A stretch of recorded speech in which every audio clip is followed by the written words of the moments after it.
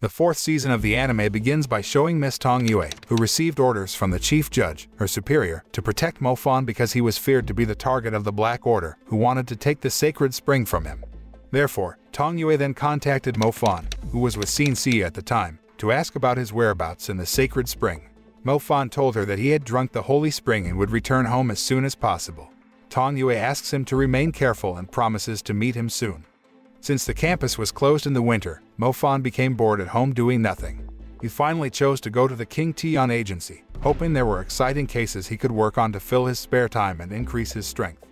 Upon arrival, Mr. Bao told something quite unique, where there was a request from a client to become Mo Fan's bodyguard in exchange for hefty money. Mo Fan, who saw the request, looked very surprised because he had no idea that he would become such an important person who must be protected. He insisted he could protect himself with strength so he didn't need anyone's escort. But on the other hand, Mo Fan was worried that the Black Order criminal organization was suspected of being the mastermind behind the destruction of his hometown. Because of that, he contacted Ling Ling and asked her to protect his family because they needed protection more.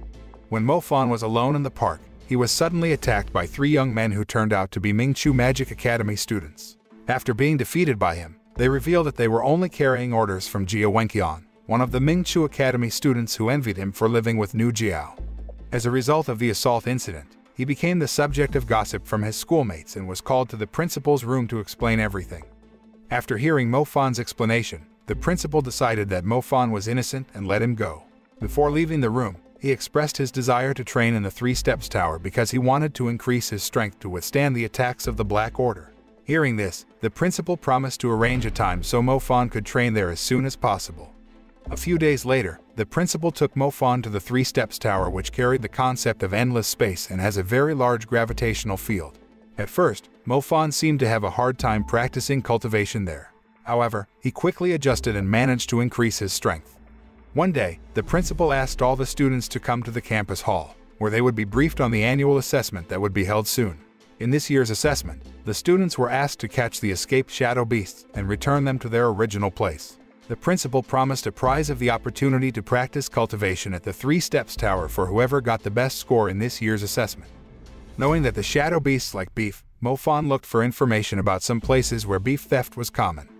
In the evening, Mo Fan got news about the beef theft that had just occurred at a food processing factory. But as it turned out, these were all traps that had been prepared by Yu Wang and the Black Order organization to capture Mo Fan.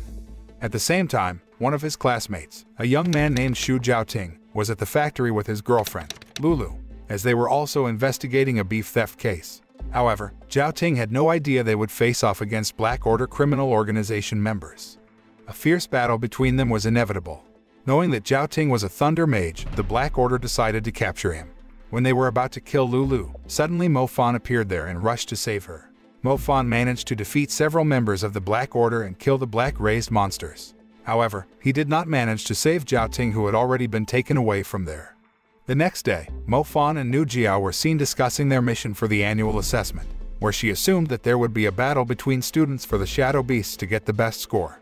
Mo Fan and Tu Tu didn't deny that because the number of the Shadow Beasts hanging around was certainly not as large as the number of first-year students of the Ming Chu Magic Academy. After that, Mo Fan visited Lulu, who was resting in her room where she revealed that she and Zhao Ting got information about the whereabouts of the shadow beasts in the factory from one of the Ming Chu Magic Academy students. Hearing that, Mo Fan realized they had been framed by the Black Order. He then asked Lulu to rest and not worry about Zhao Ting because he would continue searching for Zhao Ting's whereabouts. That night, when Lulu was alone, suddenly, she was attacked by the black-raised monsters who infiltrated her room. She tries to save herself by running to the roof of the building, but the monsters kept chasing her, when she was in a state of urgency and had no way out, unexpectedly, one of the black-rised monsters actually protected herself from attacks by other monsters. For some reason, she felt that the monster protecting her was Zhao Ting. Elsewhere, Mo Fan received information from Miss Tong Yue about the Black Order criminal organization that has a special method of turning humans into black-rised monsters, as happened to Zhao Ting. Meanwhile, Zhao Ting, who had turned into a monster, was ordered by Yu Wang to kill Lulu. Unable to disobey his orders, Zhao Ting finally kills her, the girl he loves the most. Not long after, Mo Fan arrived and was shocked to see Lulu who had died. Zhao Ting then asked Mo Fan to kill him immediately because he couldn't stand the suffering he went through after turning into a monster. With a heavy heart, Mo Fan finally complied with his classmates' wishes and ended Zhao Ting's suffering. After that incident, Mo Fan contacted his best friend, Xiao Hu, to get information about the whereabouts of the shadow beasts. After getting information from Xiao Hu, he contacted all the students and informed them that he had caught the shadow beast they had been looking for. Mo Fan purposely lied by saying that the shadow beasts had drunk the sacred spring, which he did deliberately to provoke the appearance of the members of the Black Order. As Nu Jiao had predicted, the battle between the students for the shadow beasts finally happened. Because the students put all their strength into getting the shadow beasts, the principal then created the magic barrier to suppress the students' magic power so they wouldn't kill each other. Knowing that a magic barrier could suppress a person's magic power, Yu Wang took the opportunity to immobilize Mo Fan and capture him. Yu Wang then ordered one of the academy's students, a young man named Fu Tianming, to capture Mo Fan and seize the sacred spring. Elsewhere, Mo Fan seemed to be preparing for an attack from the Black Order. Even though he is inside the magic barrier, he can still use the dark elemental magic power and can use it more freely. Meanwhile, the students were surprised by the appearance of the black raised monsters who suddenly attacked them from all sides. The attack was part of the Black Order's plan to capture Mofan and obtain the Sacred Spring. Not long after, Mofan met a male student who was an accomplice of the Black Order and got into a fight with him. However, Mofan could easily defeat him with his lightning elemental magic power. Apparently, not only the Black Order was interested in Mofan and wanted to kill him, Luo Song and his friend are ambitious to beat him because he has humiliated them. They made a deal with Fu Tianming and his companion to capture him. Upon learning that, Mo Fan chose to avoid fighting with them, as he wanted to focus more on finding the mastermind behind all of this. Mo Fan finally came face to face with the mastermind who was none other than Yu Wang. He then told Mo Fan that he had joined the Black Order since he was seven. Several years later, Yu Wang finally created his first cursed beast which was none other than his own father. He reveals that Zhao Ting is his second cursed beast and intends to make Mo Fan his third cursed beast. As a member of the Black Order, Yu turned out to have made rapid progress in magic, so he was able to create the cursed beast that was hard to beat. Mo Fan was even overwhelmed by the cursed beast which injured him quite badly. On the other hand, Yu finally found out about Mo Fan's lies about the sacred spring. Since the magic barrier was about to disappear, Yu decided to escape from there before his actions were caught by others. Before leaving, he asked Fu Tianming and one other student who was an accomplice of the Black Order to kill Mo Fan. However, he could easily defeat them. After a fierce battle, Mo Fan finally managed to kill the cursed beast with the shadow element he had mastered well. After that incident, he was accused of being a member of the Black Order. But then, a man named Ye Ying, the Magic Association's representative, arrived there and praised Mo Fan's hard work in stopping the Black Order's plan to take control of the Sacred Spring. Sometime later, Mo Fan and several other students, including Man Yan and Nu Jiao, were selected as exchange students at Yandao Academy. At first, Mo Fan refused to become an exchange student, but after the principal gave him a magical weapon that could ward off curses, he finally agreed to the principal's request to make him an exchange student. Mo Fan and his companions finally arrived at Yandao Academy and were welcomed to rest after a long journey. The next day, the Ming Chu Magic Academy students would face off against the students of the Yandao Academy in a magic competition.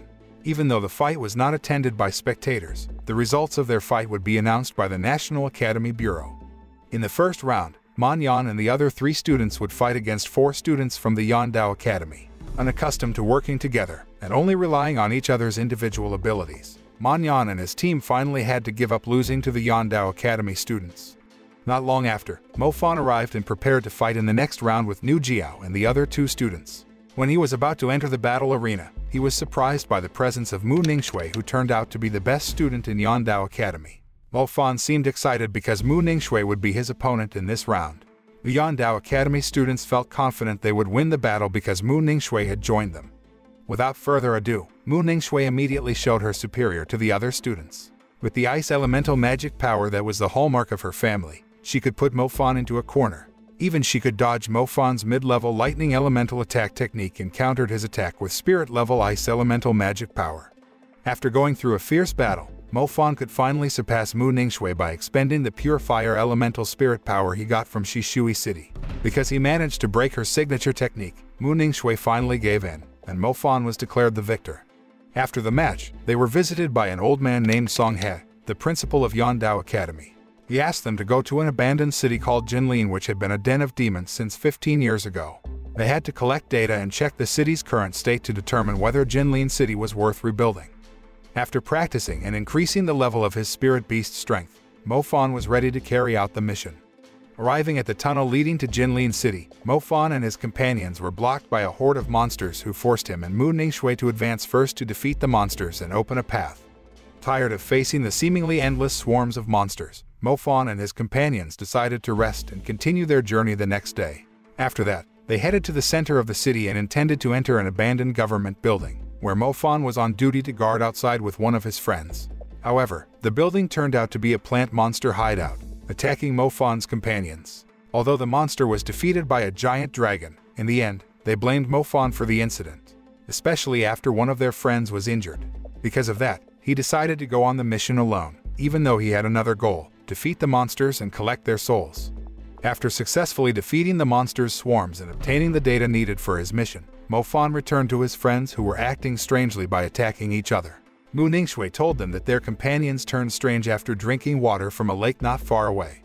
After further investigation, Mofan and Mu Ningxue finally found the mastermind behind all of this. It was none other than the heart-controlling spider monster which could control people's feelings and make them kill each other. They then teamed up to subdue the spider monster. Combining their strengths, the two finally defeated the spider monster. Upon returning to camp, Mo Fan and Mu Ningxue were shocked by the news that one of their friends, Ming Chang, had died after fighting his friend Mingshuan while under the spider monster's control. As the situation got out of control, Mo Fan and his friends decided to return to Yandao Academy. Moreover, they have collected quite a lot of data for research. However, just as they were about to enter the tunnel, a group of guards led by Lu Zhenghe's older brother, Lu Nian, stopped them and intended to arrest Mo Fan because they wanted to subject him to the experiment of the new magic they had created. Several of their friends died in the incident, as Lu Nian and his men attacked indiscriminately. Mo Fan and his companions then teamed up to fight Lu Nian and his men. After successfully restraining their movement, Mo Fan then asked Mu Ningxue and the others to hurry away through the tunnel while he lured Lu Nian and his men to the center of the city. Then Mo Fan was meditating to perfect all the magic elements he had, while ordering his spirit beast to defeat the monsters that wanted to attack him. After gaining control of the monsters, Mo Fan ordered them to attack Lu Nian's men who managed to find his whereabouts. On the other hand, Lu Nian apparently managed to catch Mu Ningxue and the others and ordered Mo Fan to turn himself in immediately. Not long after, Zhan Kong arrived there to help Mo Fan. However, Lu Nian ordered his men to take Mo Fan's friends to the giant dragon's lair. When Zhan Kong was fighting Lu Nian, Mo Fan rushed to the giant dragon's lair to save his friends. However, the giant dragon was not an easy opponent for him, even though he was a mid-level thunder mage. Because of that, one of Lu Nian's men, who felt guilty for involving the students in a dangerous situation, gave the new magic element they had created to Mo Fan. He then swallowed the new magic element to save his friends and turned into a demon-like figure. With his newfound power, he managed to defeat the giant dragon and swarms of monsters. After saving his friends, Mo Fan went to Lu Nian to take revenge for what he had done to his friends. A fierce battle ensued between them, until in the end, he managed to defeat Lu Nian. But after that fight, he seemed to have difficulty controlling his thoughts because now he had a demon element in him. Not wanting to hurt those closest to him, Mo Fan decided to stay away from all of them. After that incident, everyone seemed to go on with their own lives. Manyan and Nu Jiao seemed to visit Xin Xia to tell what happened to Mo Fan. Even so, Xin Xia felt sure that her brother was fine and would come back to her sooner or later. The moral that can be learned from this anime is to fight for justice and protect the people we love, even though we have to sacrifice ourselves.